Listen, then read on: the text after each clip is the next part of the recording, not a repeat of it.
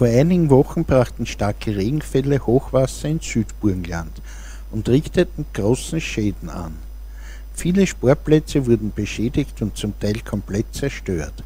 Als Soforthilfe zahlte der ASFÖ 31.000 Euro an verschiedene Vereine. Um den Vereinen noch schneller und effizienter helfen zu können, wurde ein Spendenkonto für einen Hilfsfonds eingerichtet, erklärt uns ASFÖ Burgenland-Präsident Robert Zivkovic. Ja, wir sehen, dass äh, Vereine, die von Unwetter betroffen sind, oft einen sehr großen Schaden haben, den sie ganz einfach nie in einem Budget kalkulieren können, der plötzlich auf sie hereinbricht. Und bei diesen Schäden, die sehr massiv sein können, ich verweise nur auf den Tennisverein in, in Wiesfleck zum Beispiel, wo die komplette Anlage zerstört wurde, äh, da ist es ganz wichtig, dass man diesen Vereinen sehr schnell hilft.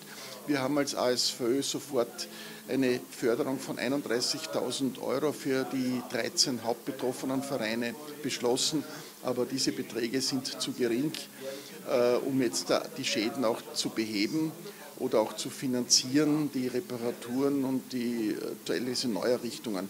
Aus dem Grund haben wir jetzt einen Fonds ins Leben gerufen, wo Privatpersonen, Vereine, Firmen steuerbegünstigt äh, spenden können.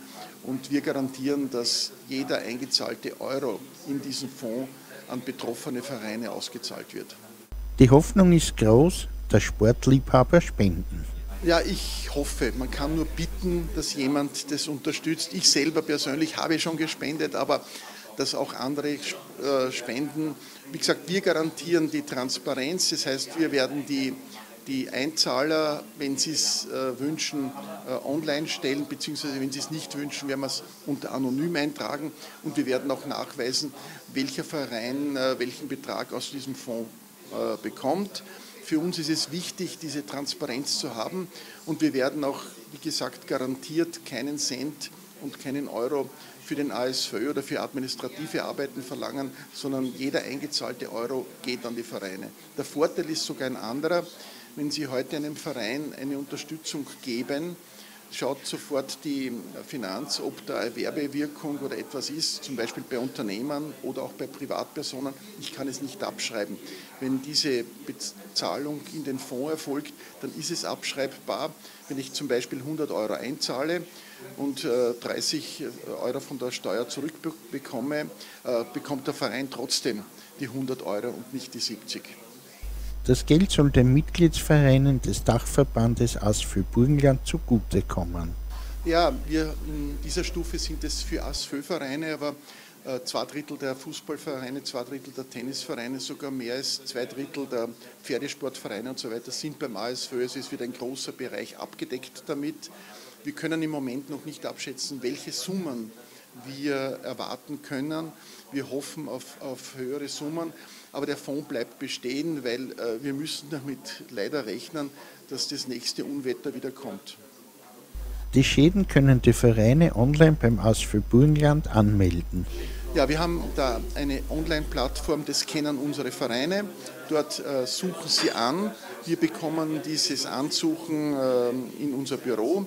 Wir werden den Schaden besichtigen vor Ort. Es wird ein Funktionär des ASV oder eine Funktionärin vor Ort sein, die sich das Ganze anschaut. Wir wollen die unterstützen, die einen hohen Finanzbedarf haben und nicht, nicht nur die, die die schönsten Ansuchen schreiben.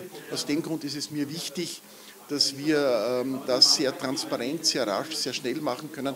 Und mit Geldern aus diesem Fonds sind wir noch flexibler als mit, als mit Mitteln aus der Bundessportförderung. Den gesetzlichen Rahmen erklärt uns Vizepräsident Magister Werner Dax. Ja, vielleicht, wenn ich das ganz kurz sagen darf, also wir haben mit Betroffenheit das letzte Mal gesehen, was da wirklich passiert ist. Das kann man sich eigentlich gar nicht vorstellen, wenn man die Bilder sieht. Und wir haben gesagt, man muss irgendetwas unternehmen, um die Vereine zu unterstützen. Und der Präsident hat vorgeschlagen, einen Fonds einzurichten, wo man eines auch schaffen soll, wenn man spendet, dass man eine Spendenabsetzmöglichkeit hat. Und im Hinblick darauf haben wir dann auch die Statuten geändert. Das heißt, wir sind in dem Sinne eine spendenbegünstigte Organisation. Das heißt, wenn wir oder wenn man diese Idee, diesen Fonds unterstützen möchte, hat man die Möglichkeit, das, was man hier einzahlt, auch steuerlich geltend zu machen.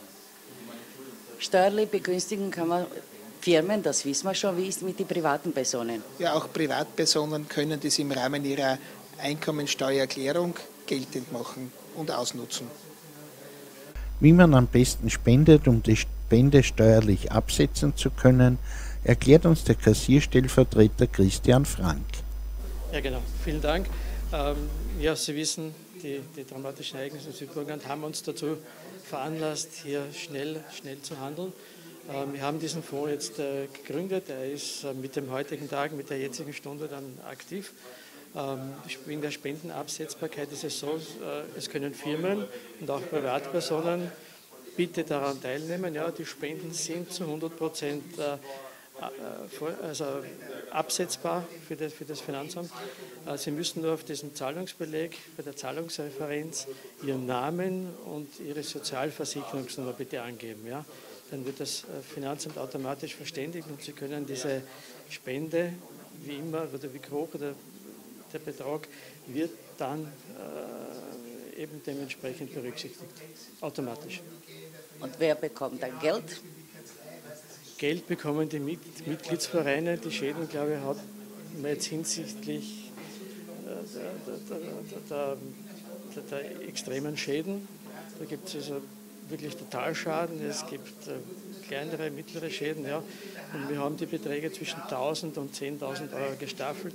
Es wurde äh, von uns begutachtet, äh, festgestellt, dokumentiert, fotografiert und jetzt helfen wir schnell.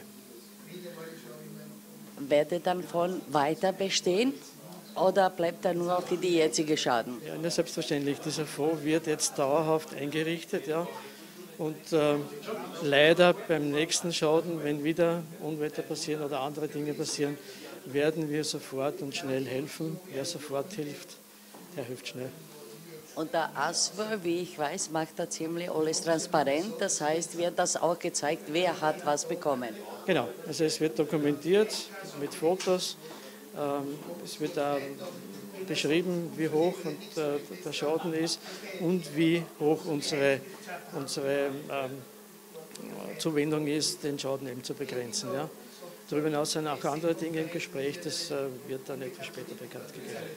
Sage ich danke für den Dank.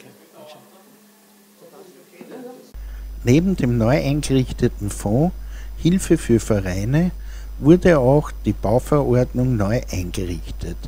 Naja, Bauförderung heißt, dass geplante Infrastrukturmaßnahmen, Errichtungen von Gebäuden, von Kabinenanlagen, äh, Plätze, auch Sanierungen, Großinvestitionen äh, in Sportanlagen von Flutlicht von Flutlicht beginnend über Beregnungsanlagen, dass die auch von uns finanziell unterstützt werden. Der ASFÖ hat jetzt in, vor einer Woche einen Betrag von 118.000 Euro für heuer beschlossen, aber das ist keine außergewöhnliche äh, Investition, sondern das sind die geplanten Investitionen, wo dann gemeinsam mit Unterstützungen vom Land, von der Gemeinde, eventuell von den Fachverbänden oder auch vom ASVÖ Baumaßnahmen finanziert werden, die die Vereine dann mit meistens sehr hohen Eigenleistungen umsetzen. Wenn er welcher Verein Bauförderung benötigt, wie soll er vorgehen? Ja, so wie bei allen Förderungen. Wir haben ja viele Arten von Förderungen. Wir haben von der Grundförderung, wir unterstützen Teilnahmen an äh, Europameisterschaften, Weltmeisterschaften, an österreichischen Staatsmeisterschaften. Wir, wir unterstützen die Durchführung von, äh, von hochwertigen Turnieren äh, und verschiedene andere Sachen. Die Vorgangsweise bei all diesen Förderungen ist, über unsere Online-Plattform Förderansuchen zu stellen.